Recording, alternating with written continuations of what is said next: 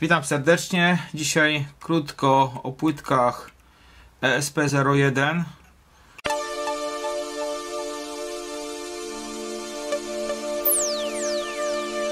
Od Sylwka. Właśnie mu, mm, teraz będę programować te płytki, ale zanim to zrobię, parę słów muszę powiedzieć na ten temat. I tutaj mam son offa y, dla niego już zaprogramowany, wszystko jest uruchomione z DSM 18B20 i ostatnio też miałem taki komentarz y, pod filmem od, od Arka. Jak ja mam podłączony y, piec gazowy? No właśnie odpisałem mu, że piec gazowy mam na takim y, Son Offie Basic. A jak mam to zrobione? Można oczywiście zrobić sobie termostat. Też pokazywałem to z jednym z ostatnich filmów.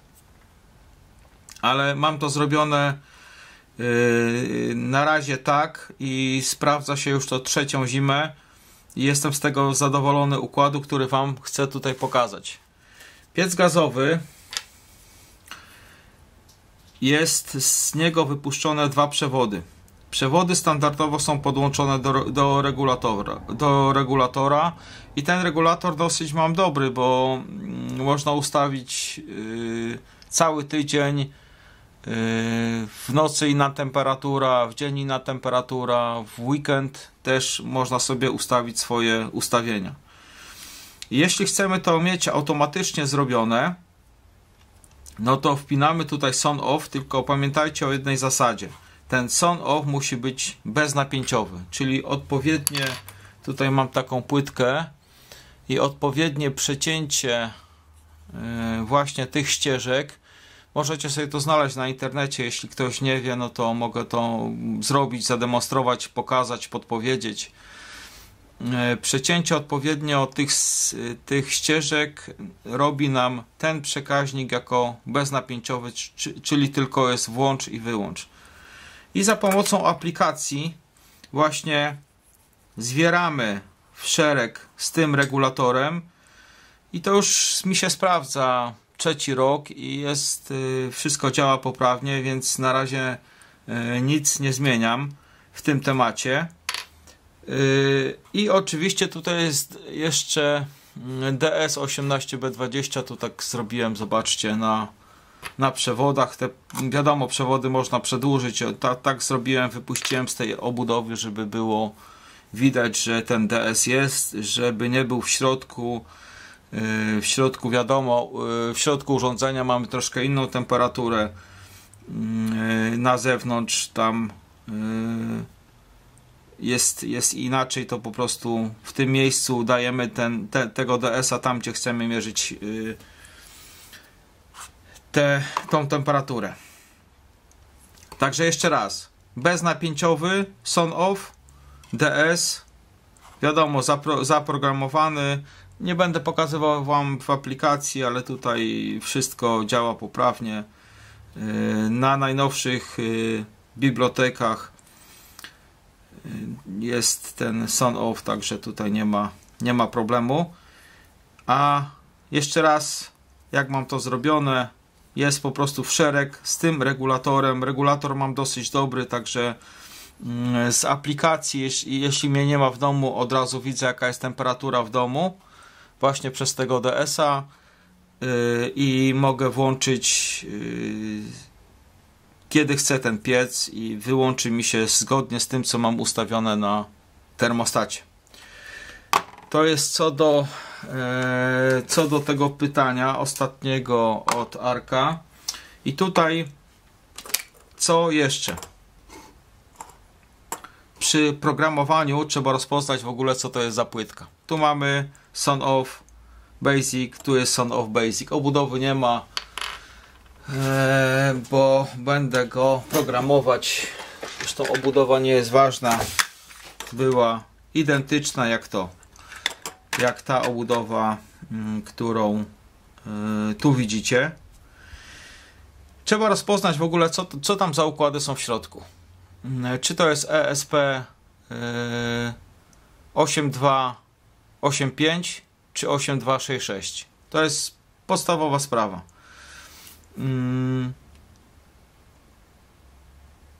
Także od tego zaczynamy w ogóle jaką, jakąkolwiek yy, myśleć o programowaniu. Musimy, żeby, żeby w ogóle zaprogramować, musimy wiedzieć przede wszystkim jaki jest yy, ten układ w środku.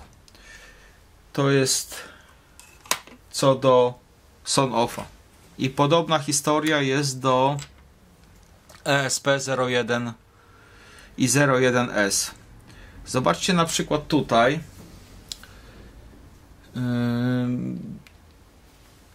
że niby te płytki są wszystkie jednakowe. Podobnie, podobnie z przekaźnikami, podobnie z różnymi elementami, które przychodzą z AliExpress. Wszystko niby jest jednakowe, wszystko niby jest podobne, ale otwieramy i można się czasami yy, zdziwić, że coś jest nie tak, albo, albo możemy nie zaprogramować te, tego, al, tego układu, albo po prostu coś, no coś nam nie działa, nie pracuje. Zobaczcie, mam tutaj 4, 5, 6, 7 ESP. Niektóre są y, moje układy, niektóre są układy do zaprogramowania. Y, w czym rzecz? Tu mamy ESP01S. To jest tak. Jedna, jedna sprawa jest taka, że tutaj jest opis. Yy, układ jest ten sam. On w tym miejscu, to nie będzie widać, w tym miejscu są dwa małe oporniczki SMD. I ten układ ESP01S najszybciej można zaprogramować. To już mam, to już mamy jedną, mm, jedną różnicę Y, jedną różnicę, którą, na którą musimy zwrócić uwagę. To są dwie, mam takie płytki. To są dwie takie płytki. Tutaj może dam tak, żeby było widać. To są dwie takie płytki. I teraz patrzymy się, co tutaj, co tutaj dalej. Te płytki są zwykłe zwykłe, ale też jest e, taka sprawa, że mm, jedne płyteczki są opisane pod spodem, drugie płytki nie są opisane pod spodem. Na jednych płytkach pisze ESP8266 wersja druga. Mamy pozaznaczane o zobaczcie Mamy pozaznaczane tutaj e, wyjścia, tu na tych płytkach nie ma wyjść.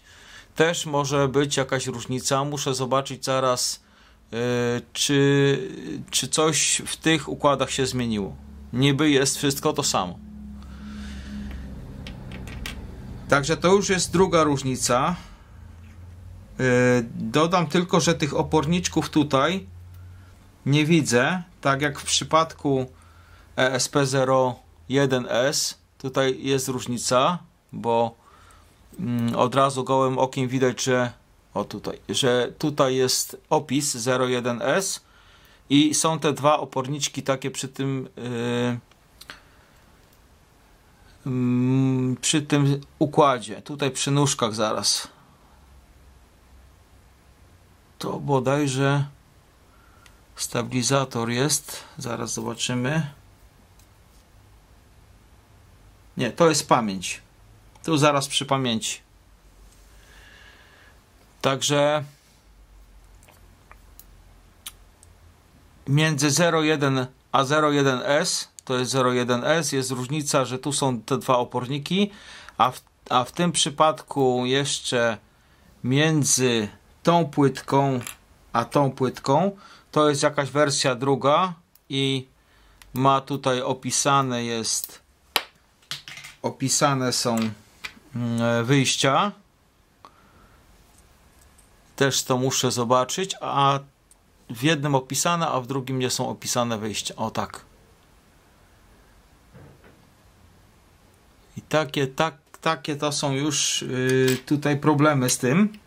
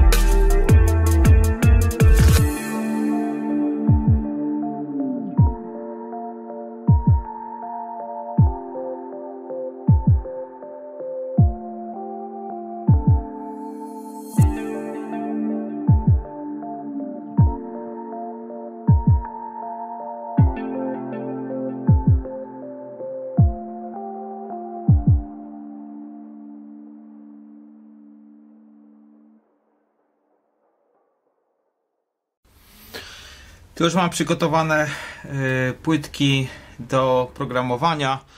Kiedyś to już robiłem, zamieszczę film, y, czy link pod filmem. Y, zobaczycie, może komuś tam się przyda. Są schematy narysowane y, jednego i drugiego, jednej i drugiej płytki. ESP01S i ESP01 te z dodatkowymi opornikami. Dobra, nie przedłużam. Wszystkiego dobrego. Do następnego filmu.